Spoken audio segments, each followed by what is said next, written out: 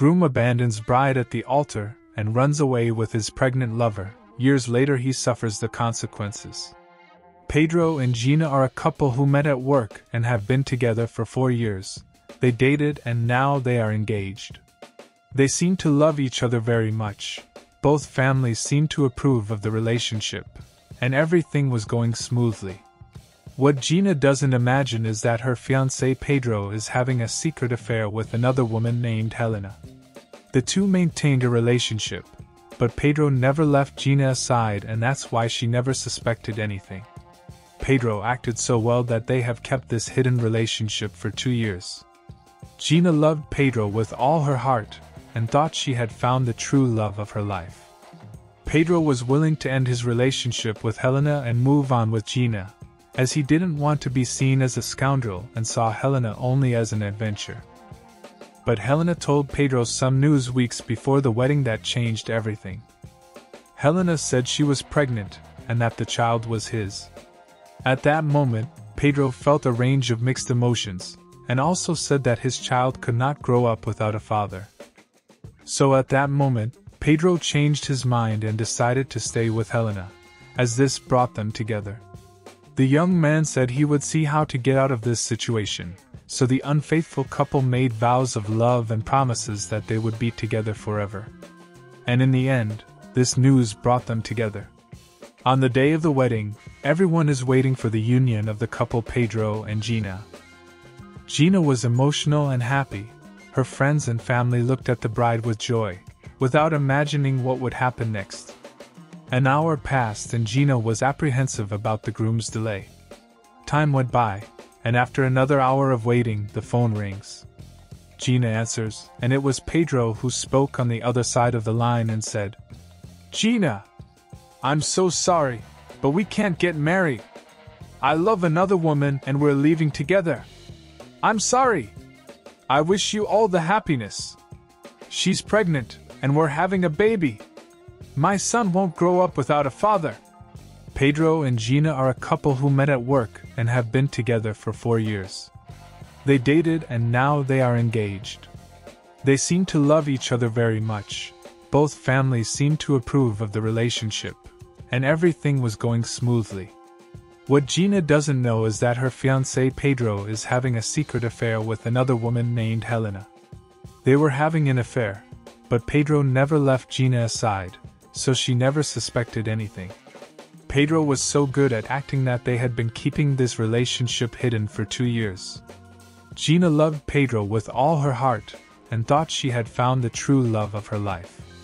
Pedro was willing to end his relationship with Helena and move on with Gina because he didn't want to be seen as a shameless person and saw Helena only as an adventure. But Helena told Pedro some news weeks before the wedding that changed everything. Helena said she was pregnant and the child was his. At that moment, Pedro felt a range of mixed emotions and also said that his child could not grow up without a father. So at that moment, Pedro changed his mind and decided to stay with Helena because this brought them together. The young man said he would see how to get out of this situation, so the unfaithful couple made vows of love and promises that they would be together forever. And in the end, this news brought them together. On the day of the wedding, everyone is waiting for the union of the couple Pedro and Gina. Gina was emotional and happy.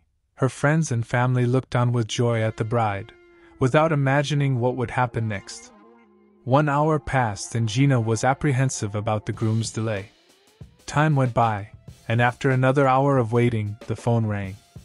Gina answered, and it was Pedro who spoke on the other end of the line and said, Gina, I'm sorry, but we can't get married. I love another woman, and we are leaving together. I'm sorry. I wish you all the happiness. She's pregnant, and we're having a baby. My son won't grow up without a father. Gina is shocked and devastated by this, and over the phone she says, How can you be such a scumbag? Pedro, you're miserable. You fooled me all this time. And Pedro, nervous, says, I'm sorry, Gina. I didn't want it to be like this. I was in a hidden relationship with Helena. But I never left you aside. I had confused feelings. But now I found out that I love Helena and I'm going to live with her and my son. Forgive me. I wish you all the happiness and that you find another man who truly loves you. Because it wouldn't be fair to keep fooling you and myself. I'm sorry, Gina. In tears, Gina says. I did everything for you and this is how you pay me? Okay. I'll tell you one thing. In this life, everything is paid back, and one day, life will demand what you did to me. This is not a curse. It's destiny. And Gina hung up the phone on Pedro's face. Gina, with a sad face and very disappointed, tells the guests To everyone here, I say with great sadness that there will be no wedding. The groom broke up with me over the phone and ran away with his pregnant mistress. Pedro is a scumbag and shameless. He fooled me and made me look like a fool. I'm sorry, folks. You're free to take your gifts if you want. It's okay.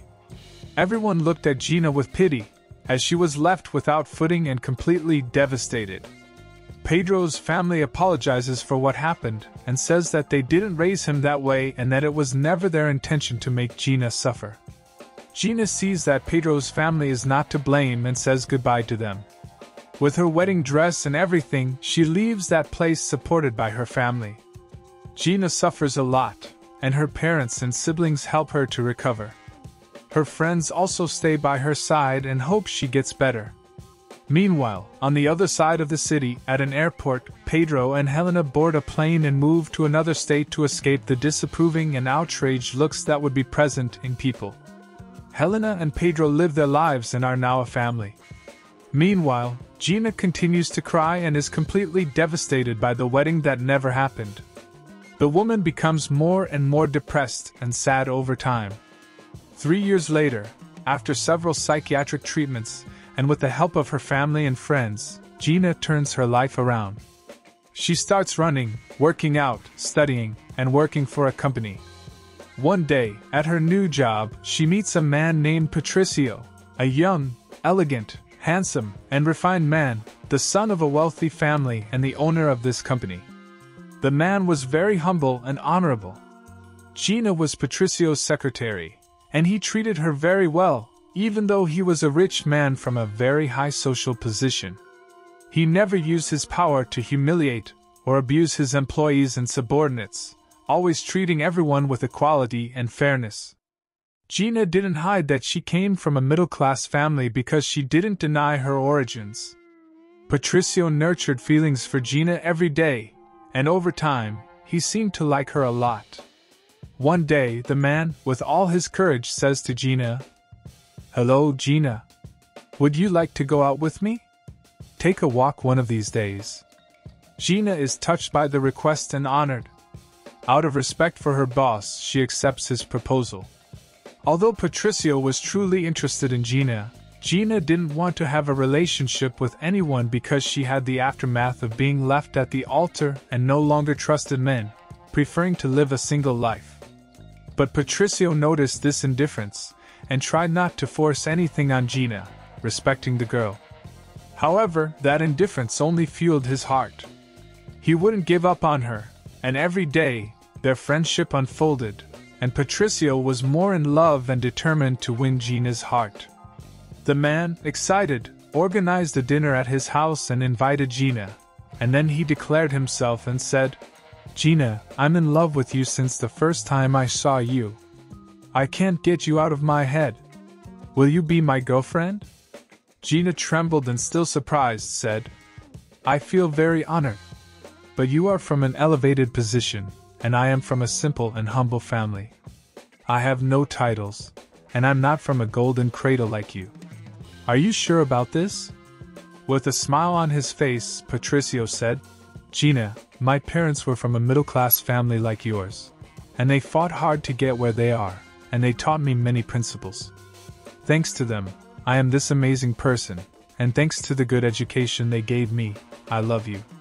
Gina, who had already been nurturing feelings for Patricio for some time, decided to give herself a chance and accepted Patricio's proposal. Patricio and his family seemed to like Gina, and she got along very well with Patricio's siblings and parents. In parallel, Pedro was living his fairy tale with Helena and her son in another state, missing his family from his hometown, and at the same time, afraid of their reaction when returning to his old city. After two years of dating, at Patricio's house, in front of his parents and siblings, Patricio kneeled for Gina and showed a wedding ring, saying, Gina, will you marry me?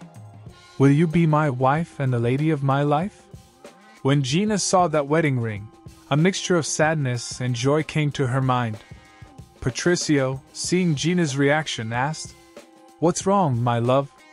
Did I do something wrong? Tell me what it is, and I'll fix it now. And Gina, emotional, said, No, Patricio.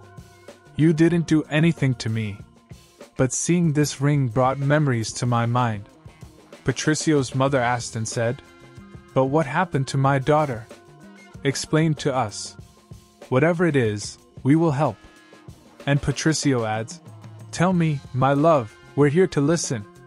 Whatever it is, we'll understand. So Gina told her whole story of what happened about her wedding where she was left standing at the altar, her unfaithful fiancé who ran away with a pregnant mistress, and all her suffering. Patricio and his family were moved by Gina's story and felt very sorry for her. Patricio then opened up to Gina and said, My love, I know what you feel, I've been through it too. Surprised, Gina said, How so, Patricio? Someone in your position and standard who has everything couldn't have gone through it. My God! How small the world is.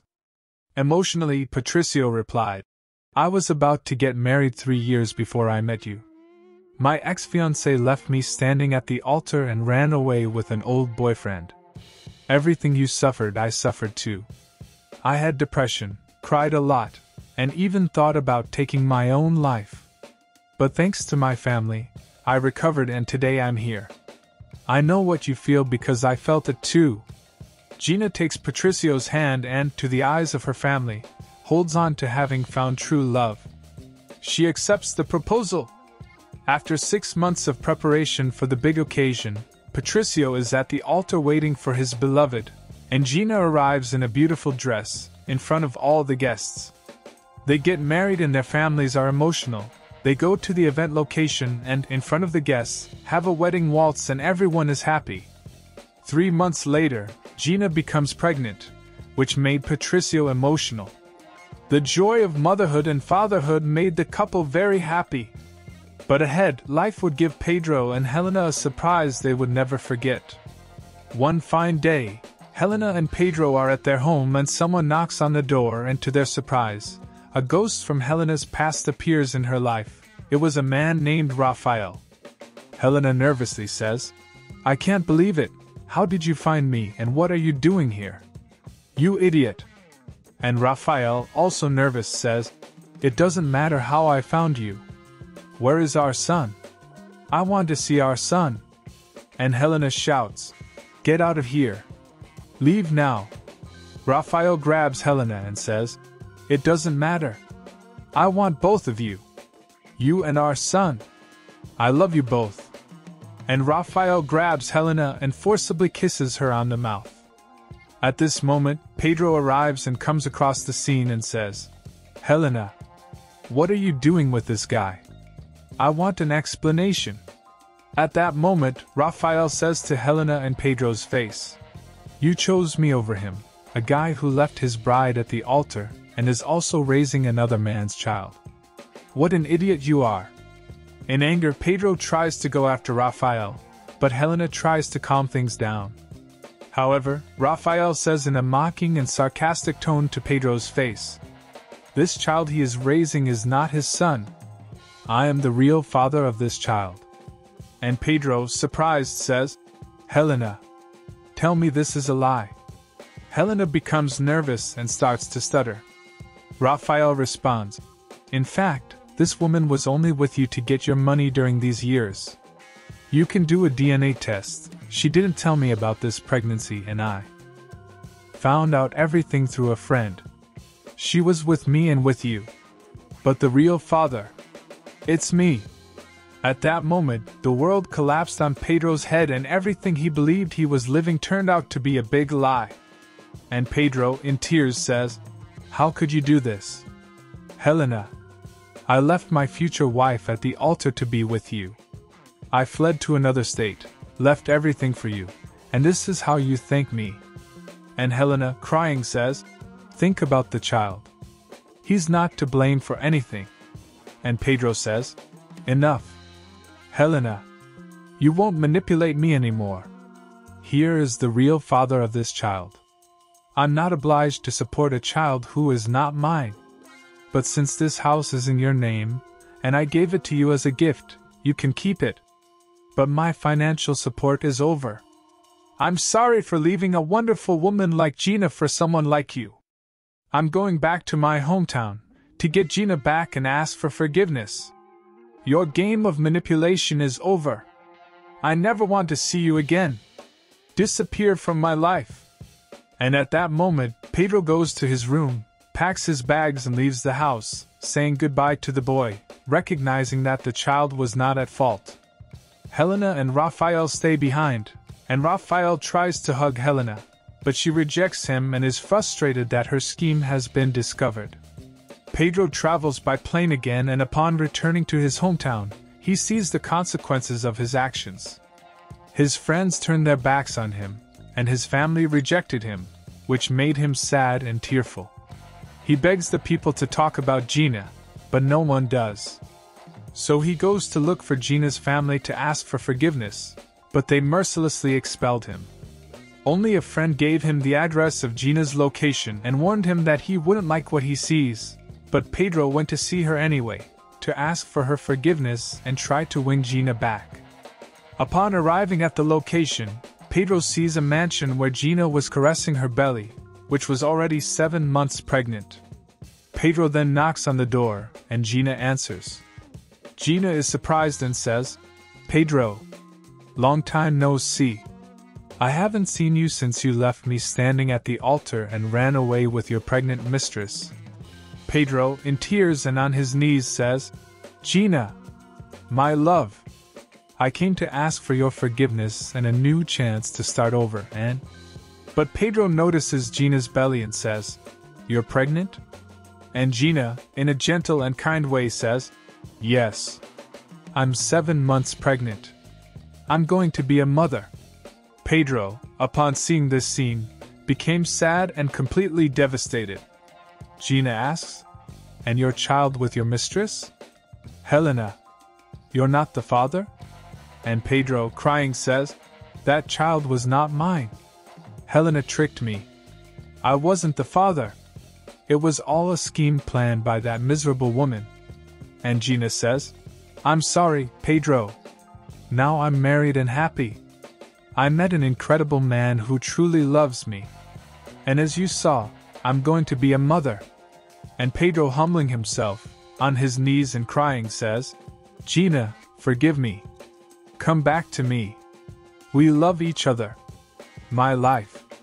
As I told you, Helena tricked me. That child wasn't mine. I promise everything will be different, and I'll never cheat or deceive you again. Now I know how you felt after finding out about Helena's betrayal. Leave that guy, and if necessary, I'll even raise the child growing in your belly as if it were my own. I'm willing to do anything to be with you again. I still love you. I never stop thinking about you. And Gina kindly says, Pedro, I forgave you a long time ago. But I don't love you anymore. You caused me so much pain and suffering. Now I'm truly happy. I'm sorry.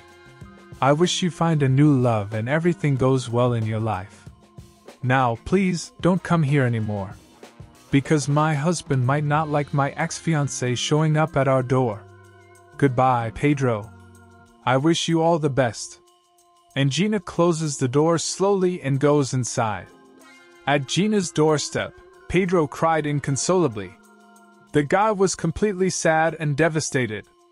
He remembered Gina's words on the day he ran away with Helena and felt great remorse, and saw that life had demanded everything he did to Gina.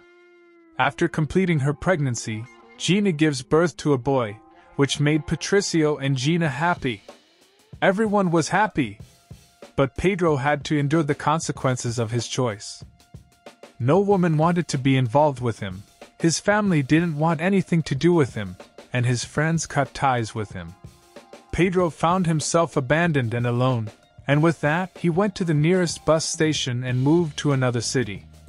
Missing Gina every day and keeping a photo of Gina and him from their engagement as a keepsake.